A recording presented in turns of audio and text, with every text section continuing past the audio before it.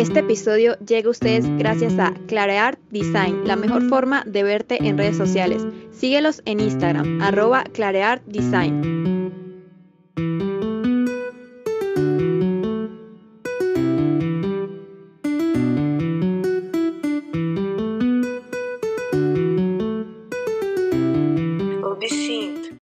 amigas amigos de Detrás de Cancha Radio? Bienvenidos a este tercer episodio ya de este podcast en su segunda temporada. Hoy vamos a tener una entrevista bastante especial que hemos perseguido muchísimo.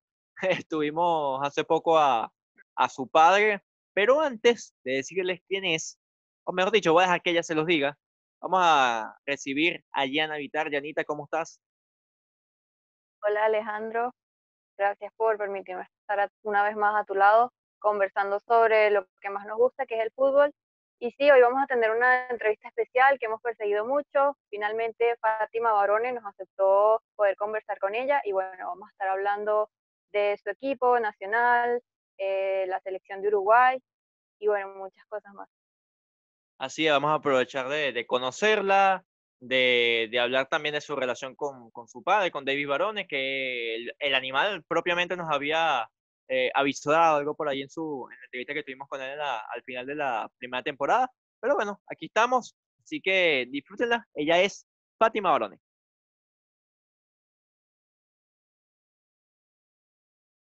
Bueno, Fátima, bienvenida a Detrás de Cancha. De verdad, un gusto para nosotros tenerte, tenerte acá. Teníamos ya como esa expectativa después de, hablado, después de haber hablado con tu papá. Eh, de hecho, te, te, seguíamos a ti primero antes, antes de seguir a, a, tu papá y bueno, es un gusto para nosotros tenerte acá. Hola, ¿cómo anda? No, el gusto, por favor, es mío de poder hacer la entrevista por fin. Después de tanto coordinamos y, y justo le hicieron primero a mi papá y por fin ahora a mí. Bueno, Fátima, bienvenida y principalmente preguntarte qué has hecho en estos días de pausa de fútbol. He visto que han hecho canastas solidarias eh, con tu club. Sí, eh, fuimos a colaborar para armar canastas. Hicimos 507 canastas para poder llevar a esa gente que de verdad necesita. Y nada, la verdad que fue muy lindo por estar ahí y ayudar y dar una mano, más que nada, ¿no? Con toda la gente de Nacional. No, y, y, que Uruguay, que, por, que de por sí es un país eh, de poca población, no tanta población con, en comparación a, otro, a otros países, eh, obviamente no, eh, son países que no, no escapan tampoco del, del, golpe económico, social, todo lo que ha traído esta, esta pandemia. Sí, yo creo igual que de la pandemia somos los que mejorcito, digamos, estamos. Eh, tenemos un poco de, flexibilidad en el sentido de poder salir a, la calle, hacer las compras y eso, no es obligatoria la cuarentena. Y nada, y somos pocos, pero siempre estamos con la voluntad de ayudar y, y eso está bueno. Y tú también de por sí, Fátima, eh, has estado activa, ¿no? Entrenando en redes sociales. Eh, ¿Cómo también has, vivido tú esta, esta cuarentena? Y un poco a, lo primero se complica porque de tener tu rutina de ir a entrenar y, y volver y ir a estudiar o algunas a trabajar, de un momento parar normal, es, me, fue complicado lo primero. Pero después le agarras la mano, te armas la rutina de vuelta y nada, entrenando por Zoom con Nacional, de tarde haciendo otros trabajos que me mandan los profes, eh, estudiando por Zoom en este caso y, y, así la vamos llevando. Por suerte ahora bien. ¿Tienes alguna y, carrera universitaria, Fati? Estoy haciendo UTU de deporte para poder llegar a ser profesora de deporte, que es lo, el lado que me gusta más o menos. Bueno, y es que toda tu vida has, estado ligada a muchísimos deportes, natación, hockey. Eh, ¿Cómo fue ese transitar de, Fátima Barone para encontrar finalmente su, su, vocación, ¿no? que sería el fútbol? Sí, desde chiquita siempre lo mío se ve que fue hacer deporte. Eh, siempre que los lugares que tuve que acompañar a mi papá, eh, los colegios tenían algún deporte y yo no había, me notaba en todos, eh, y siempre tuve la posibilidad de ir compitiendo y pasando de nivel y seguir compitiendo y, y fue el vóley, el handball, el que hice más tiempo fue el hockey sobre césped, que en todos los lugares también donde estuvo mi papá lo hice, y después cuando llegué acá, llegué a hacer una pretemporada y, a mitad de año se me dio por el fútbol y, era algo que siempre quise y, y se me dio para hacerlo. Sí, de hecho leí una, una entrevista que, que le hicieron eh, hace poco a, creo que, a, creo que a tu mamá y a, tu papá, están los dos interviniendo allí, y ella decía que, eh, que bueno, que tú habías pasado por todas esas distintas disciplinas y en todas te querían llevar a la, a la selección de, de, tu país. O sea, e, era natación y te querían llevar a, la selección de natación, era hockey, era hockey, te querían llevar a la selección de hockey. Y bueno, fútbol, eh, ya sabemos cómo, cómo ha terminado la historia. Sí, yo cuando competí en natación, eh, el profe iba y siempre le decía a mi mamá para ir a competir a un poquito más, ¿viste? Eh, y lo mismo pasó con handball, con hockey, llegué a ir a una selección, digamos una selección del interior del país, yo en ese momento estaba en Argentina, llegué ahí, estuve entrenando todo, hice partidos, todo, y cuando llegué acá a Uruguay, a mitad de año, de ese primer año que yo arranqué a jugar al fútbol, Ariel Longo me cita a la selección mayor. Así que una felicidad tremenda. Pati, y tu primer y único equipo desde la categoría sub-19 ha sido nacional. Y pasar al primer equipo supongo que fue un logro para ti. ¿Cómo recuerdas ese momento? Yo llegué y estuve sí, en sub-19, siempre que llegué fue nacional, me probé nacional y ellos me dieron el ok, por suerte. Y, nada, debuté el día de mi cumpleaños, eh, patente aparte, eh, me acuerdo, una emoción tremenda y ese partido eh, empatamos justito, pero nada, una felicidad tremenda de, que siempre quise jugar y, al fútbol y, me dejaron y, debuté justo el día de mi cumpleaños. Y mismo caso, ¿cómo recuerdas la, tu debut con, con, la selección de Uruguay? Eh, el año pasado, contra, contra Chile, el debut de la mayor, porque ya había estado un sudamericano sub-20 y nada, una felicidad tremenda de estar con la camiseta de tu país. Te decía que sí, fue el 6 de octubre, la fecha en que debutaste con el primer equipo de Uruguay. Sí, contra Chile entré en el segundo tiempo. Y ese, esa convocatoria, ese sudamericano sub-20, ¿cómo la recuerdas? ¿no? Porque quizás para, todo lo rápido que fue tu inmersión en el, en el fútbol, que después te, escuches tu nombre en una lista para representar a tu país en una competición internacional, es importante, ¿no? Es, es, motivo de orgullo. Sí, obvio. Yo venía de tener un año jugando eh, al fútbol. Eh, a, a, ese mitad de año me llaman al proceso de selección mayor. Eh, entreno todo ese el resto de ese año, entreno todo ese verano y cuando estamos por la fiesta me entero de la lista, quedé en el sudamericano y no lo podía creer. una felicidad tremenda y orgullo de vestir la camiseta de Uruguay, obvio. Y el apoyo de, tus padres, ¿no? ¿Cómo, ¿Cómo ha sido todo e, e, ese proceso para, bueno, para irte guiando y irte acompañando en esta, en esta linda carrera que, tienes? Sí, siempre, siempre lo estuve presente y, siempre me apoyaron en todos los deportes que, que, se me ocurrían hacer en el momento, estaban ahí para apoyarme y darme una mano y más que nada mi papá cuando me dediqué al fútbol, eh, contento, aparte en la misma posición. Me imagino. Eh, en la misma posición y, el mismo pie, así que con eso te digo todo. ¿Y qué ha significado para ti tener una figura como tu papá en tu carrera? Yo creo que con eso tengo una ventaja porque es como un, ejemplo, un referente y encima él está ahí para decirme lo malo y lo bueno. Eh, es, es, como un apoyo que tengo que para mí es, como una ventaja. Y que en ese constante crecimiento, eh, claro, tu papá ya nos confesaba que, bueno, que ya no tiene intenciones de, seguir jugando al menos de manera profesional, pero tú lo vas a seguir haciendo y también puedes guiar a, tu hermano Faustino, que también está siguiendo los pasos de ustedes, pero quizás en otra posición, en la posición de delantero. Mi hermano fue, es el primero de nosotros que está arriba. Hay que dejarlo arriba, de delantero nomás que haga gole arriba, que no baje. De la mitad abajo no. Ah. Sí, eh, es la esperanza es él porque, claro, es delantero. Ahí estamos nosotros para apoyarlo. Con mi viejo, él me apoya a mí porque soy la, zaguera, juega en mi posición, pero mi hermana no puede bajar. y en el uno contra uno, ¿quién gana? ¿Faustino o tú? Está complicado. Eh, yo igual le gano. A mí no me pasa. Y si pasa a él, la pelota no pasa. Así que vemos. Pero está complicado. Hay que tirarle un par de tips. Ya, lo vamos haciendo así. Fati, ¿y cómo, cómo defines el fútbol femenino en Uruguay? Y algo que está eh, creciendo a pasos lentos, pero seguro. Eso es lo bueno. Porque mejor así, de a poco. Eh, nosotros acá Nacional, por suerte, nos, nos brinda un apoyo tremendo y, y, eso es de gran ayuda. Igual falta crecer eh, muchísimo en varios sentidos. Eh, y, y nosotros porque tenemos la suerte de estar en un club grande. Pero hay muchos equipos que las cosas básicas no la tienen, así sea como una cancha de fútbol. Entonces hay que seguir peleando eso para tener condiciones básicas para poder entrenar pero eso es paso a paso, lento, pero seguro.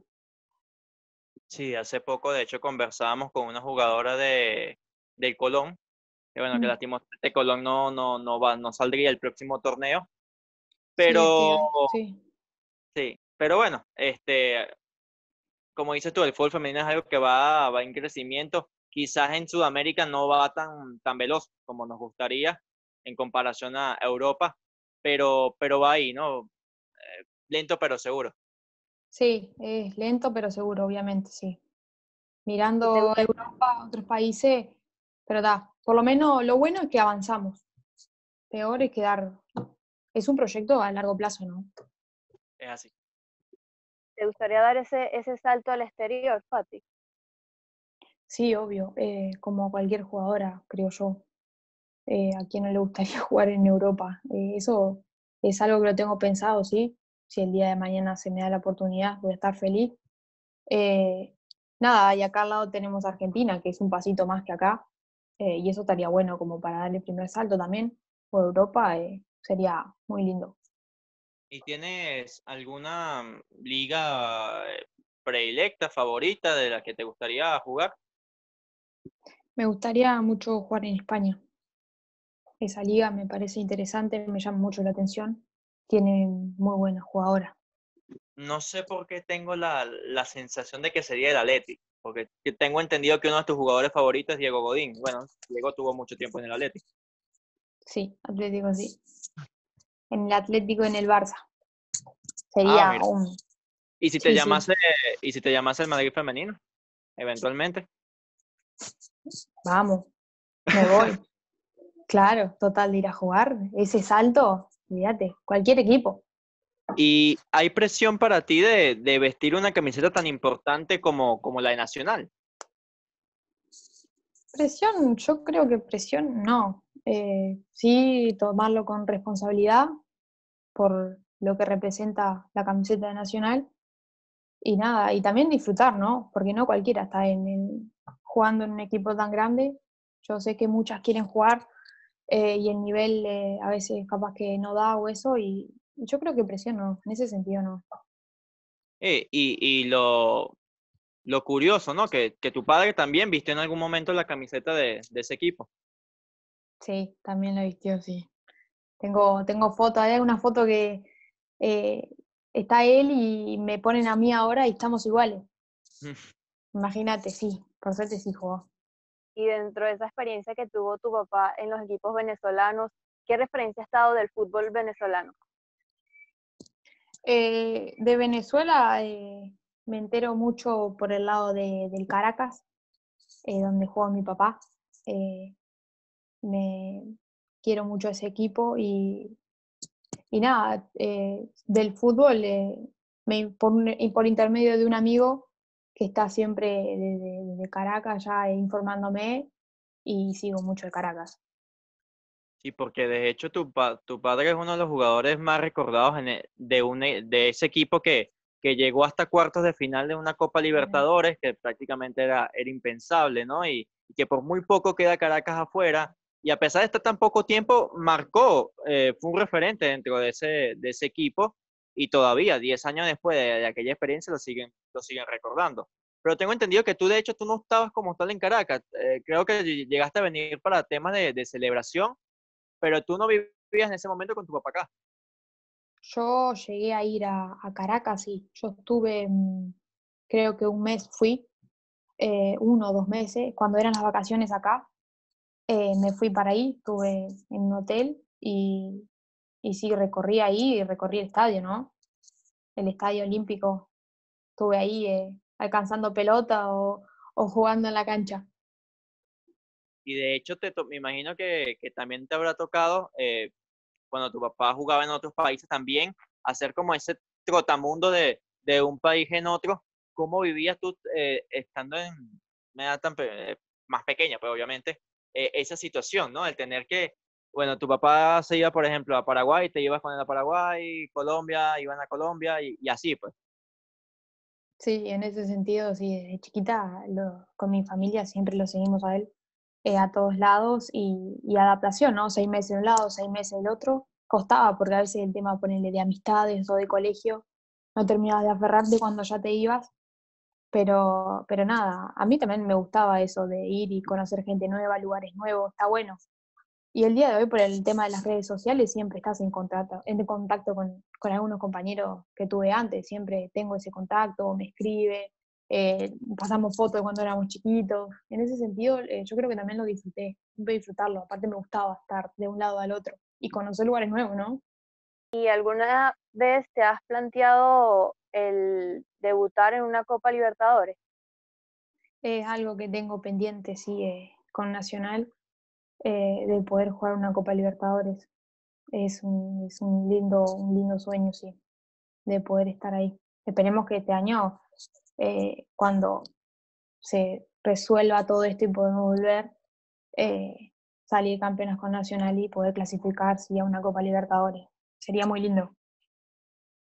Claro, y más con la camiseta del de club que, que te vio crecer. Sí, con el que me abrió las puertas para jugar al fútbol que yo no era nadie y, y me aceptaron y, por suerte ahora estoy en, la primera y aparte un club que soy hincha, eh, sería para mí algo muy lindo poder jugar una Copa Libertadores con Nacional. De hecho, cuando tú comenzabas a, a, tener ese contacto con el, con el fútbol, Fátima, tú comenzaste a jugar propiamente con niños, tengo entendido. Yo jugué, sí, en Paraguay, eh, yo jugaba el handball en Paraguay y un día me prendí a jugar en el mismo colegio que fui, eh, a jugar al fútbol con, con mis compañeros, chiquitos. Eh, y en un momento me voy para mi casa y tocan la puerta y le estaban pidiendo a mi mamá si me podía dejar jugar al fútbol y mi mamá no quería.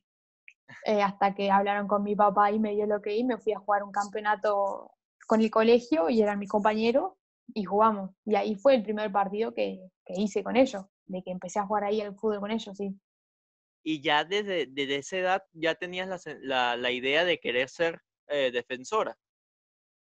No, no, yo siempre quería hacer los goles. Yo era más siempre delantera o cerca de ahí arriba. ¿Y qué hizo? ¿Y qué hizo que después te, bueno, retrocedieras esa, esa posición? Eh, cuando, porque yo cancha de 11, yo no sabía jugar. Yo en ese momento era, creo que cancha de 7 o de 5. Y cuando llegué a Nacional, claro, de pasar al hockey, que es cancha grande, pero la, la de 11 es más grande. Entonces llegar y, y, no saber qué posición jugar o qué decirle al técnico, y lo primero que dije fue defensa, como papá, defensa. Aparte tenía el que me ayudaba y ahí quedé, atrás. Y también se te dan los goles como tu papá, porque tu papá no es que, no se define como un defensa goleador, pero sí, sí los hace. Y mi papá es defensa goleador, sí, todos los centros era él, olvídate a él. Y yo a veces sí tengo, tengo un par de goles sí, de centro también, o a veces con el pie. Por suerte sí. ¿Y algún rival difícil que te haya tocado enfrentar?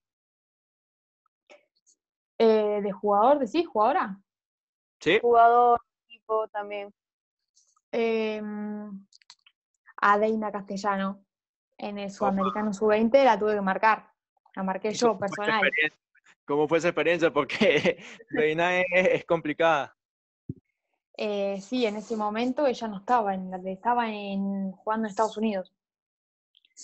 y, el técnico dice de agarrar marca, digo, yo la marco de en castellano.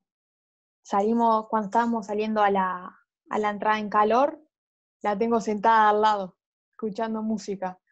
Esa es. ¡Ah! Mirá vos. Y, bueno, la tuve que marcar, no, la verdad que tremenda jugadora, eh, sí. Pero siempre molestándola y hablándole, ¿no? Pero igual, estaba enfocada en lo de ella. Es que sí, no, uno puede ver por lo menos en el choque de, partidos entre Venezuela y, Uruguay, ¿no? Por lo menos en el caso eh, masculino, que, hay mucha, eh, mucha riña de, manera deportiva, ¿no? Para, para no llevarlo más allá. En el fútbol femenino también vive, se vivían esos partidos así dentro de cancha. Sí, obvio, sí. Eh, total de algo siempre hay que hacer para distraer al jugador, ¿no? Eh, pero sí, es tremendo, la garra charrúa, eh, esos partidos, olvídate, se deja todo. ¿Cómo era en eso el ambiente en, ese entonces de fútbol femenino? ¿Había apoyo a comparación de ahorita o ahorita hay más apoyo? No, yo creo que siempre ahora eh, hay más apoyo, sí. Eh, antes en ese momento me acuerdo que los partidos se transmitían por, por Facebook en vivo y ahora ya tenés tu canal que podés verlo y todo. En ese sentido está mejorando, sí. Mismo ahora con el sub-20 de ahora. Eso está bueno. Eh, Fátima, eh, tengo entendido que creo que todavía en Uruguay el fútbol femenino no, no, lo consideran profesional. Corrígeme si me equivoco. No, no, todavía no. Eh, sí se hicieron en Nacional. Es el primer club que hizo tres contratos profesionales. Pero pero no, todavía no llega a ser una liga profesional del todo. Pero, pero eso es bueno, ¿no? Para ti, ¿qué representa el que como jugadora mm, te consideren una, una atleta profesional, ¿no? Como bien lo eres. Sí, que, y aparte que Nacional sea el primero eh, en realizar los tres contratos, ¿no? Eso está bueno. Eh, con mis compañeras y todo está, está bueno. ¿Y cómo, cómo ¿Cómo ha sido ese transitar con tu cuerpo técnico, con tus compañeras, con la afición también de, Nacional? Bien, por suerte bien. Eh, la hinchada siempre tenés un mensaje de aliento, por más que a veces eh, no, se, no se publique mucho el tema de los partidos o dónde son y eso.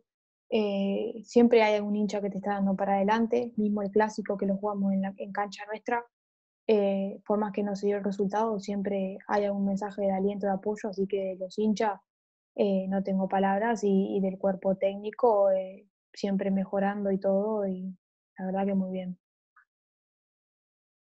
¿Y qué sientes al ver las gradas y, que estén ahí tus padres, tu hermanito apoyándote? la verdad que es lindo, ¿no? Porque siempre nos apoyamos entre todos eh, así cuando, cuando juega mi papá vimos todos, cuando juego yo vienen todos, toda mi familia, más ahora que estamos en Uruguay, eh, tengo a toda mi familia que va a verme a mí o a mi hermano y, eso es lindo porque tener el apoyo de tu familia eh, te da tremenda confianza, ¿no? Claro. Tu papá nos confesaba que, que, con ustedes es, es exigente. Cuéntanos ahora desde tus palabras cómo, cómo es eso. Ah, eh, cuando nos toca ir a entrenar con él, que a veces le pedimos, está todo el tiempo, dale, dale, dale, dale. Tenemos que hacer intermitente o algo y, y, dale, y la pelota, y dale, ven y cabecea.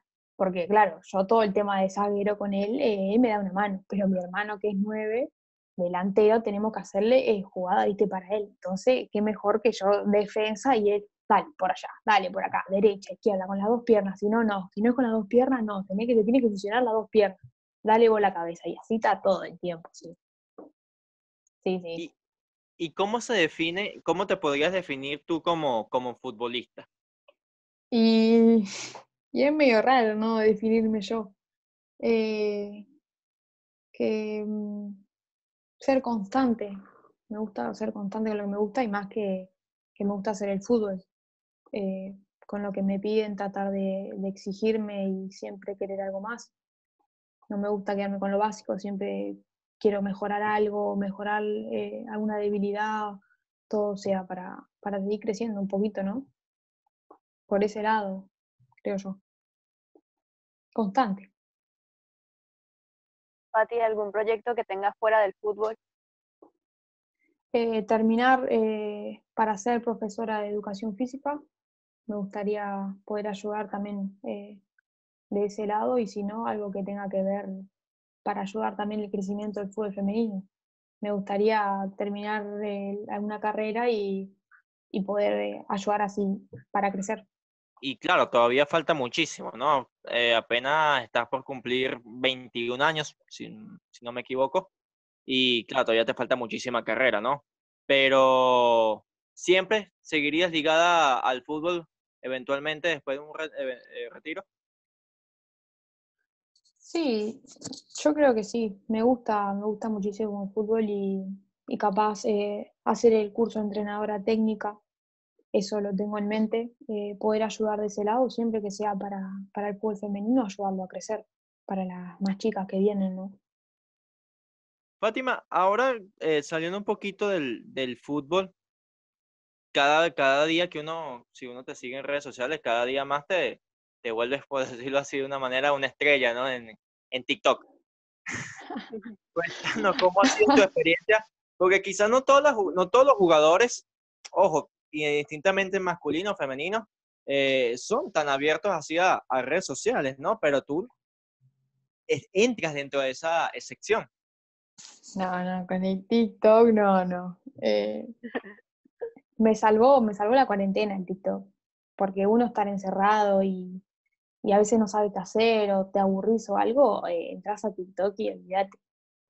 Te pones a hacer video y se me dio y la gente se prende y mis compañeras me joden y, y está, ah, mira cómo bailás y acá no, cualquier cosa, pero la verdad que no, no el TikTok no. No, aparte salís pasa, hay vida después de la cuarentena. Y, la gente me dice, ah, vos sos la del TikTok. Y yo quedo como, ay, mamá, tragame tierra. Pero y, que también eres capaz de, jalar a tu mamá hacia, hacia ese mundo. Y últimamente también a tu papá. ¿Cómo fue eso? ¿Cómo convenciste a tu papá de, bailar? Así se haya hace un par de segundos, pero lo vimos bailando ahí. no, no sabés lo que me costó. Tráeme aceite. No, eh, a mi mamá le, le, hicimos hacer TikTok, sí. Mi papá no lo tiene, pero él, él los mira, él chumea, mira.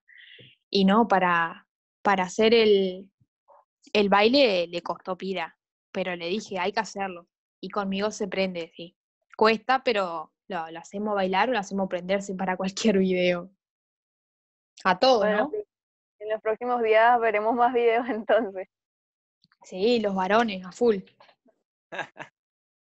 Pati, eh, para ti como, como futbolista, la importancia de que, de que te vayan guiando en el, en el tema comunicacional. Ah, si algo me ha gustado de, esta entrevista y, y, otras entrevistas que he podido ver tuya, es lo bien que te, que te desempeñas, ¿no? Eso a veces falta un poco en el, en el fútbol en todas las categorías, ojo.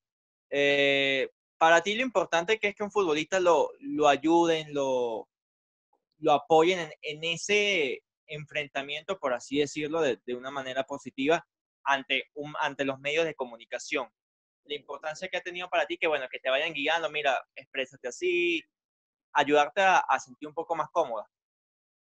Sí, es, una ayuda tremenda, que no todos tienen la, la posibilidad eh, y por suerte eh, yo sí, y la verdad que pila de veces te ayuda un montón, es una gran ayuda.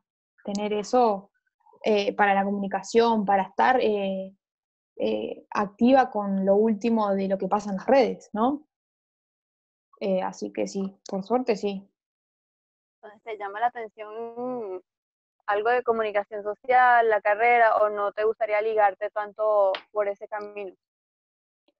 Me gusta todo eh, el marketing deportivo, es algo que me gusta, pero no sé si el día de mañana eh, llegar a estudiarlo, ¿no? Pero es algo, es, algo lindo que me llama así la atención. Si Fátima Barone no fuera futbolista, ¿qué sería hoy? Jugadora de hockey. me dedico al hockey. Y de dicho de hockey jugabas de nueve también. jugué de nueve y jugaba de volante, o sea, arriba, hacer goles. Nueve. Nueve, pero hacía goles en serio. Hacía goles y era goleador. Dicen que, a veces, dicen que a veces evitar un gol también se puede celebrar como uno. Sí, obvio. Eh, en, la en la línea ahí, sacarlo, vale, vale como gol. y hacerlo en el minuto 90 también. Mejor. obvio. Muy bien.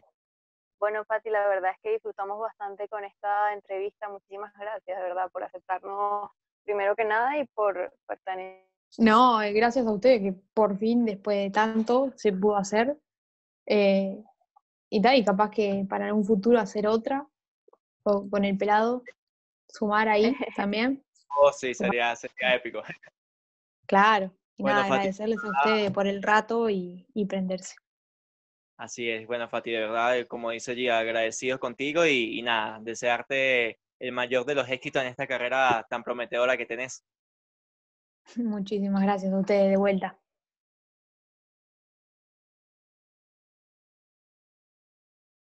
Y bien, esta fue Fátima Balón en nuestro tercer episodio ya de esta segunda temporada de Detrás de Cancha. Buenos días, de verdad. Muy buena la entrevista, de verdad que Fátima muy graciosa, muy elocuente y, muy segura en lo, en, lo que, en lo que hace y en lo que dice, propiamente pues, como es en la cancha. Sí, la verdad que fue una grata conversación. Además, me impresionó la parte en donde dice que, que sigue al Caracas Fútbol Club, que le tiene un amor a, ese equipo y, es impresionante que, que, futbolistas de afuera puedan ver, eh, puedan ver y conocer a equipos de aquí. Sí, al igual que pudimos conocer de, su propia voz, que uno de los rivales más difíciles que, que, le ha tocado enfrentar ha sido Deina Castellano. La manera en, en, cómo cuenta que la conoció también eh, es anecdótica. Este, agradecidos obviamente con, con, Fátima, agradecerle sus minutos acá, desearle mayor de los éxitos, como ya le decíamos, también agradecer a la agencia Publier, quien nos eh, ayudó a tener a Fátima hoy, a Lola, de verdad que muchísimas gracias. Y, bueno, este, esto sigue, ya empezamos con toda esta tercera, esta segunda temporada. imagínate, tercera, estamos hablando ya. Segunda temporada. Tercer episodio de la segunda temporada y bueno, hemos tenido protagonistas estupendos y esperamos puedan disfrutar los próximos episodios que van a estar muy buenos. Así es. Eh, ¿Decimos quién, quién es el siguiente invitado o, lo dejamos de, de expectativa para, para después? No, de sorpresa. Muy bien. Así que bueno, esto fue el tercer episodio con Fátima Barone acá en Detrás de Cancha, segunda temporada. Recuerda que puedes ver esta entrevista en tu canal de YouTube. También puedes escucharnos a través de Anchor, Spotify, Google Podcast, Apple Podcast y iBox. Arroba eh, Detrás de Cancha Piso Fútbol en Instagram, arroba Detrás de Cancha Piso en Twitter, arroba Vitar con doble T, arroba Alejandro eh, Liporazi A, Liporazi con doble C y una al final. Y buenos días, de verdad, un gusto. Un gusto para mí, Alejandro. Entonces, hasta un próximo episodio. Chao, chao.